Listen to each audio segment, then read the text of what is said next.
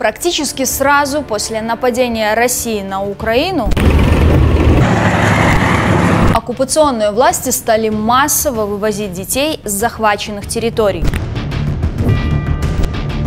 По данным британского The Telegraph, в отчине Путина оказалось почти 20 тысяч украинских детей, а еще 2 тысячи отправились туда же, куда и бойцы ЧВК Вагнера, в Беларусь. Дети – святое дело. Мы вывозили их из зоны конфликта, спасая их жизни. Святое дело Владимира Путина не оценили в Гааге. Международный уголовный суд выдал ордера на арест в связи с ситуацией в Украине для Владимира Путина, президента Российской Федерации, и для Марии Львовой-Беловой за предполагаемые военные преступления, депортацию детей с оккупированных украинских территорий на территорию Российской Федерации. Цвета в общую картину происходящего добавили журналисты из Следства Инфо. Они передали атмосферу некоторых российских лагерей. Вы приехали сюда, в тюрьму.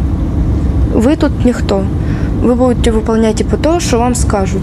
В комнатах очень холодно, общежитие не отапливается, одеяла очень тонкие. Просили еще одно, сказали не положено одного человека одно одеяло.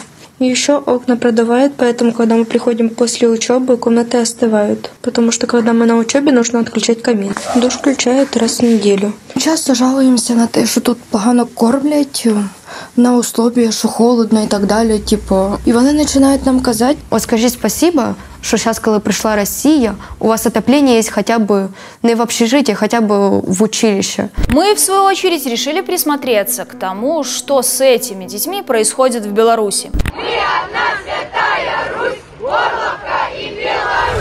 Всем привет! С вами Ольга Ратмирова, и сегодня я расскажу вам о том, кто в Беларуси принимает украинских детей за разменную монету, для кого они средства заработка, а для кого кирпичики фундамент укрепления политических позиций. И какую роль в этой акции за братскую Россию отыгрывают члены семьи Александра Лукашенко и Белорусская церковь.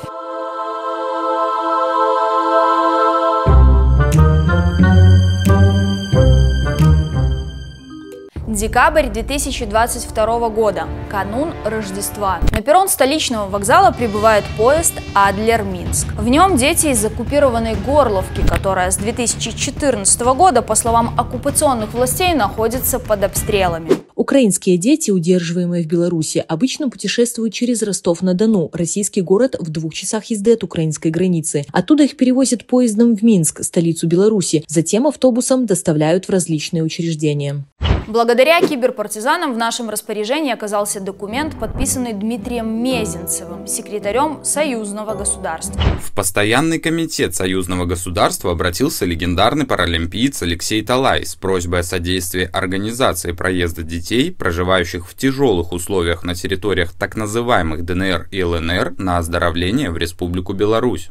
Здесь есть и нарушение международного гуманитарного права, международного права человека, то есть и тех норм, которые касаются разрешения государства и гражданства этих детей, а это Украина. То, что Российская Федерация навязывает таким детям российское гражданство, не значит, что мы его признаем. С 2017 года э, есть резолюции на уровне Генеральной Ассамблеи ООН, поэтому международное сообщество не признает навязанного российского гражданства. Таким образом, без разрешения Украины этих детей не можно было перевозить через границу и на территорию Беларуси, на территорию третьего государства фактически. К фонду Талая мы вернемся чуть позже, о нем уже в СМИ писали немало. Но в чьи еще руки попадают украинские дети? Посмотрите, вот фото, сделанное после концерта в белорусском детском лагере Дубрава. Этого мужчину зовут Николай Зарубицкий. Он председатель провластного объединения «Патриоты Беларуси» и организатор автопробегов в поддержку Лукашенко. Нам Зарубицкий интересен своим окружением, а если быть точнее, партнером по бизнесу. Николай Зарубицкий совладелец фирмы ООО «Быстрые автомобильные мойки», а его партнер в этой компании – Кулаков Владимир Геннадьевич.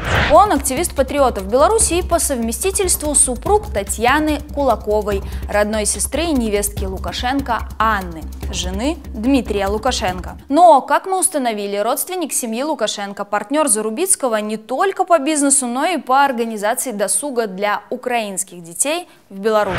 Вот Кулаков Владимир Геннадьевич на фотографии после концерта в санатории «Зеленый Бор», который организовали для детей, привезенных из Горловки. И на этом фото нас интересует еще двое. Мужчина, который держит флаг так называемой ДНР, и брюнетка справа от него. Это супруги Казаковы, Дмитрий и Юлия. Оба они отметились в фонде Талая. Дмитрий занимает пост члена попечительского совета, а Юлия – координатор социальных проектов. Кроме того, Дмитрий Казаков – заместитель Николая Зарубицкого в общественном объединении «Патриоты Беларуси». Согласно информации на сайте, он осуществляет руководство социальной и благотворительной деятельностью. Как оказалось, чита Казаковых знакома с семьей Александра Лукашенко не только через мужа сестры Анны Лукашенко, но также они встречались и с Виктором Лукашенко. Посмотрите, вот в феврале 2023 года Юлия Казакова в компании супруга приехала на Минскую лыжню в Раубичах болеть за первого. И вот уже сама Юлия и ее супруг ведут светскую беседу со старшим сыном Лукашенко Виктором. А вот Дмитрий Казаков деликатно приобнимает своего высокопоставленного собеседника за плечо. Юлия Казакова оканчивала Академию МВД. Блюстителем правопорядка она так и не стала, но чему ее учили, явно не забыла. В 2020 году Юлия Казакова трижды доносила на протестное движение с БЧБ символикой. А вот ее муж, похоже, знаком с законом с другой стороны. Благодаря киберпартизанам мы смогли узнать, что он был осужден за кражу в начале 90-х, а еще в начале нулевых за совокупность преступлений Дмитрий Казаков был осужден на 5 лет и 1 месяц с конфискацией. Наказание Дмитрий отбывал в Шклове. Не отстает от компании, организовавшей идеологическую обработку украинских детей в Беларуси и еще один родственник Лукашенко, средний сын Дмитрий. Он также причастен к организации поездок украинских детей в Беларусь. Пророссийская активистка Ольга Волкова, которая ведет под именем Ольга Подгайная свой инстаграм, благодарит в нем Дмитрия Лукашенко за то, что он наполняет каждый день пребывания детей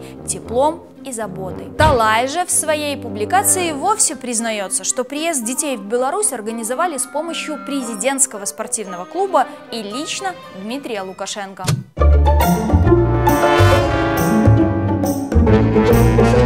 Тех, о ком мы уже успели вам сегодня рассказать, объединяет одно. Все они засветились на отчетных фотографиях на мероприятиях фонда Алексея Талая. Под его руководством украинских детей развлекают, опекают и идеологически обрабатывают. И это все заручившись поддержкой самого Александра Лукашенко. Я должен был в это непростое время посоветоваться с главой государства, получив э, согласие и поддержку главы государства, мы стали прорабатывать возможность отдыха детей Донбасса на территории Республики Беларусь.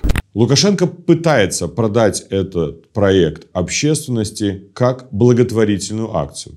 Для этого он использует имя достаточно известного в Беларуси паралимпийца Алексея Талая. Пытаясь переложить ответственность на Талая, он фактически подставляет его. Но Талай также, в свою очередь, пытается переложить ответственность за выполнение именно поручений и решений, согласованных с Александром Лукашенко. Так что здесь мы видим с вами взаимное обвинение, взаимное использование тезисов, которые подтверждают виновность как одного, так и второго лица. В развлекательную программу помимо посещения катка, бассейна, зоопарка, дельфинария, цирка и динозаврии также входят экскурсии в Белорусскую академию МВД, Музей Великой Отечественной войны, Центр безопасности МЧС, мастер-классы по стрельбе воинской части 3214.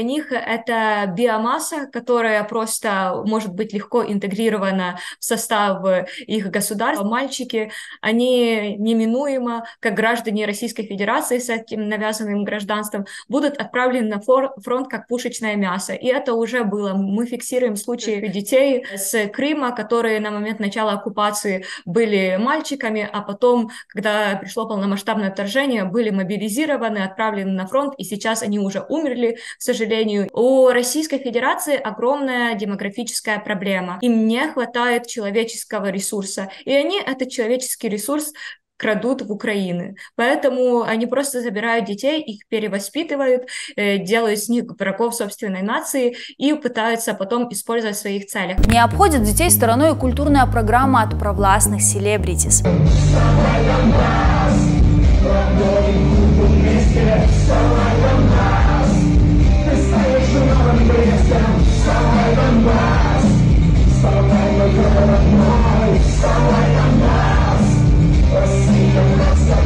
Концерты для детей проходят под выверенный аккомпанемент про лукашенковских звезд. Чтобы Байден сдох, Господи, прости меня, чтобы Зеленский тоже, а Путин процветал. И вся контроль над всей Украиной. Они окружают детей украинцев антиукраинской пропагандой. Фактически внушая им э, тезис о том, что в Киеве находится фашистский режим. Фактически их целью является разрушение связи с этнической родиной. И используя пропагандистские, пророссийские тезисы, они хотят укрепить в их сознании понимание того, что они уже не принадлежат государству Украина и не являются гражданами этой страны, а также не являются э, украинцами по национальности. Не забыли организаторы и про спортивный уклон. Маленьких украинских гостей учил играть в хоккей сам Дмитрий Басков. Другую группу украинских детей сводили на матч с участием команды самого Александра Лукашенко. Болели детишки, само собой, за первого, как написала в своем инстаграме уже знакомая нам Юлия Казакова. На этом хоккейном матче с участием Лукашенко присутствовал и Владимир Кулаков. Вот мы его видим на трибуне болельщиков, а после баталии на льду Кулаков дал интервью одному из провластных СМИ, где его назвали предпринимателем из Донецка. Я сам э, родом из города Донецка, я уже 16 лет живу в Беларуси живу и радуюсь. Но давайте вернемся к фотографии, которую мы с вами уже разглядывали, на которой мы опознали родственника Анны Лукашенко и Читу Казаковых. Есть здесь еще один человек, который активно участвует в том, чтобы научить украинских детей любить российскую родину. Это спортсмен Евгений Назаревич, член президентского спортивного клуба, сотрудник благотворительного фонда Алексея Талая. Он в прошлом имеет уголовку и получил два года исправительных работ за то, что на базе отдыха Куполинка в деревне Грандичи избил женщину.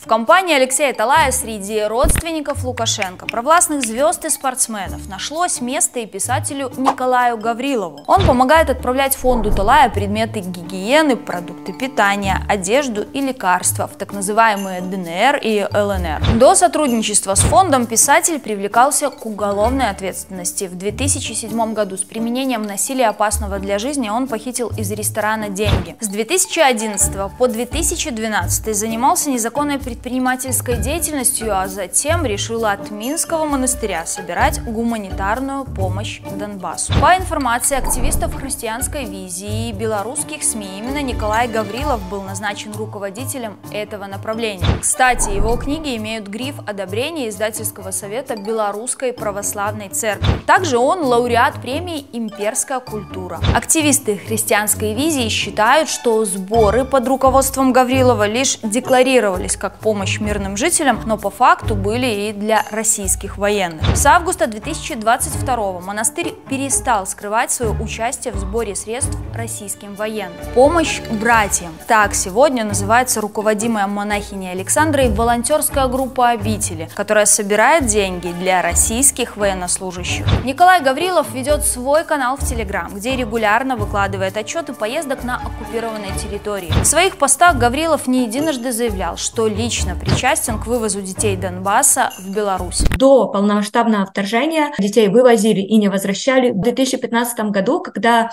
фактически за содействие Белорусской православной церкви э, было вывезено 25 человек, Семь человек не вернулось. От этой же Белорусской Православной Церкви у нас есть информация официальная с их сайта, что да, эти дети там решили остаться в Беларуси. Поэтому как они могли несовершеннолетние что-то решать и почему это было принято во внимание и почему не было никаких э, эм, нот, либо же э, в иной форме э, не спрашивали разрешения в Украины, э, непонятно, неизвестно, но это все свидетельствует о том, что есть Э, отдельные элементы, как минимум, военного преступления. Как вы уже поняли, у фонда Алексея Талая немало помощников, в том числе среди родственников Александра Лукашенко и его окружения. Примкнуло к волонтерам и белорусское общество Красного Креста. Вы знаете, если честно, меня просто до глубины души возмутил тот факт о том, что мы похищаем детей, которые приезжают нам на оздоровление. И, честно говоря, э, дело в том, что и Белорусский Красный Крест принимал в этом, и принимает, и будет принимать в этом активное участие. А еще за детей, вывезенных из оккупированных территорий, в Беларуси молятся. Как мы уже рассказали выше, не остался в стороне и Святый Елисаветинский женский монастырь. Под именованием служения Богу там происходит то, что в мирской жизни называется тыловым обеспечением войны. И сегодня надо быть дерзновенным, чтобы сказать, мы с Россией. Это действительно по-православному. И Бог слышит вас, и Бог помогает вам – и будет помогать. И мы всегда будем с вами. В мае 2023 года Наталья Качанова провела совещание с руководством государственных органов и Белорусской православной церковью об организации приютов при монастырях для сирот. По словам самой Качановой, она очень вдохновилась этим проектом благодаря своей коллеге, председательнице Совета Федерации Валентине Матвиенко. Та провела для нее экскурсию в Покровском монастыре.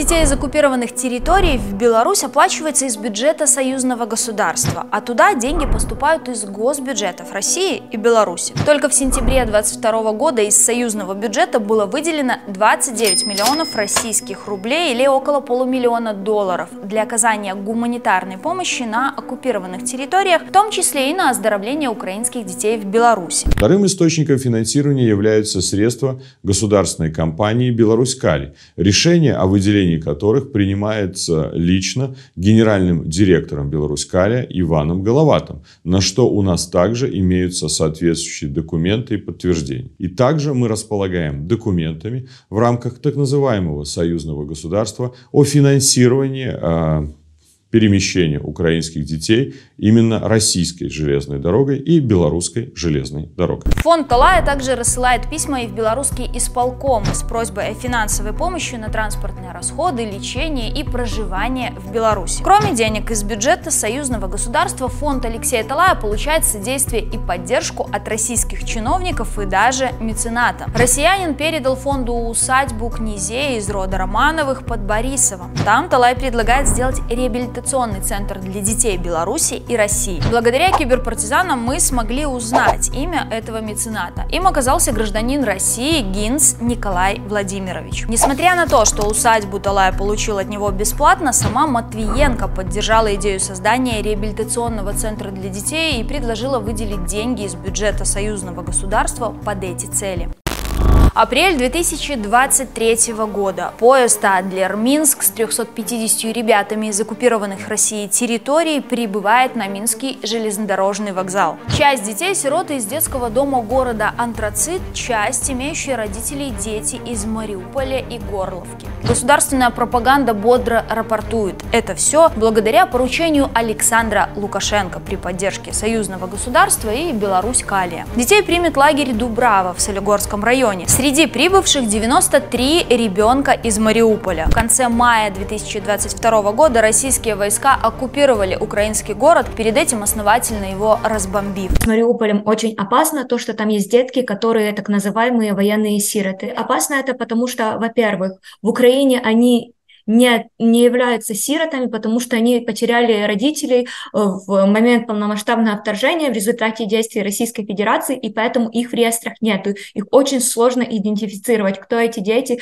кто их родители, есть ли у них родственники на территории Украины. То есть детей, возможно, вывозили на территорию Беларуси, либо же для того, чтобы так называемо оздоровить, а потом отправить с Беларуси в Россию, и это было бы более сложно отследить, куда детей вывезли. Либо же этих детей передали отправили куда-то приемные семьи на территории Беларуси. Нами установлено в настоящее время, что незаконно было перемещено на территорию Беларуси более 50 детей-сирот. Мы установили личные данные данных детей, которые будут переданы как Генеральной прокуратуре Украины, так и дополнительно в Офис прокурора Международного уголовного суда. Одновременно нами также имеются подтверждения, что ряд из этих детей в последующем были вывезены на постоянное пребывание на территорию Российской Федерации.